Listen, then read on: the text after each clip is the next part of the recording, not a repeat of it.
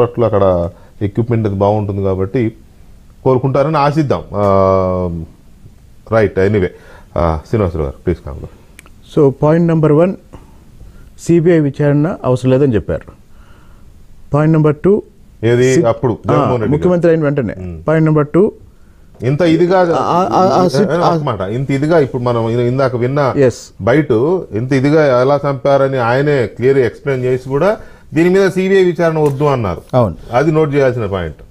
ఆ తర్వాత సాధారణంగా ఒక ఫ్యాక్షన్ హత్య జరిగినప్పుడు బాగా పెద్ద ఫ్యాక్షన్ హత్య జరిగినప్పుడు కొన్ని ప్రతీకార హత్యలు జరుగుతాయి. ఉంటాయి. వెంటనే కౌంటర్ అటాక్ జరిగింది. ఆ రోజు రాజారెడ్డి గారిని చంపినప్పుడు వెంటనే కొంతమంది ఇళ్ళ మీద తగలబెట్టారు కొంతమంది కొంత రియాక్షన్ ఉంది. ఇక్కడ అట్లాంటిది ఏం లేదు. రెండు ఆ సిట్టు చేసే సిట్టు విచారణ కూడా నిర్వీర్యం చేశారు. తర్వాత ఇక సునీత మొదలుపెట్టిన తర్వాత సునీత వెళ్ళి ఈ కేసు గురించి మాట్లాడినప్పుడు అది పెద్ద విషయం కాదన్నట్టు చెప్పారంట. ఆ తర్వాత దాని గురించి ఏమన్నా మాట్లాడితే అవినాష్ ఆవిడే చెప్పారు ఇక తర్వాత సునీత ఎప్పుడైతే బయటికి వచ్చి ఇక ఒంటరి పోరాటం మొదలైందో బయట ఉన్న ప్రపంచానికి అర్థమైంది ఏంటంటే. ఓకే మనం అనుకుంటున్న మన అనుమానాలన్నీ నిజమే. ఇది జరిగింది. ఇది జరిగిన తర్వాత ఇప్పుడు ఈ డిబేట్ స్టార్ట్ అయిన తర్వాత ఒక ఆయన పొద్దుటూరు నుంచి మెసేజ్ పెట్టాడు నాకు.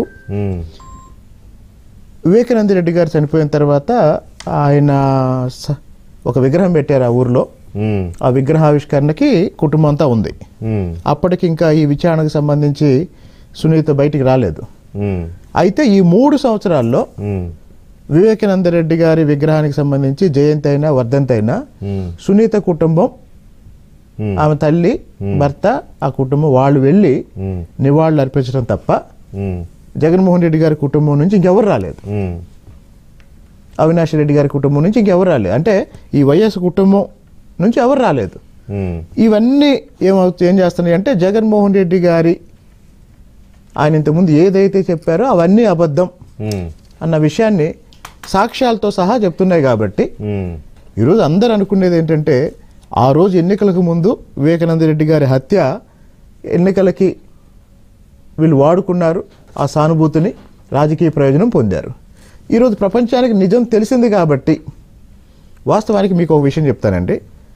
రాజశేఖర రెడ్డి గారి మీద తెలుగుదేశం వాళ్ళు అవినీతి ఆరోపణలు చేసిన జగన్మోహన్ రెడ్డి గారి మీద తెలుగుదేశం వాళ్ళు అవినీతి ఆరోపణలు చేసిన పులివెందులలో వాళ్ళ కుటుంబం మీద పెద్ద వ్యతిరేకత రాలేదు.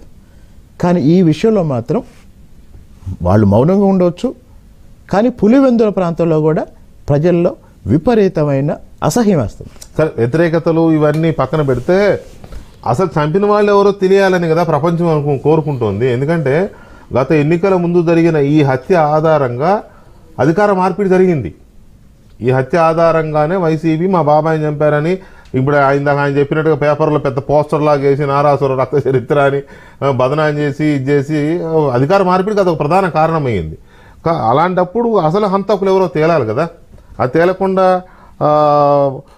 మేము అమాయకులు అని చెబితే మరి సిబిఐ నుంచి విచారణ విత్డ్రా చేసుకోవడం ఎందుకు?